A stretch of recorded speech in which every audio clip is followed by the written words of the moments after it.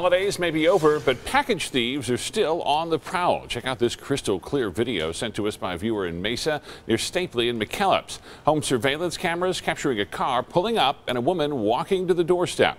She struggles for a moment, but eventually picks up the package and walks away. The homeowner just hoping somebody recognizes her. It's a breakthrough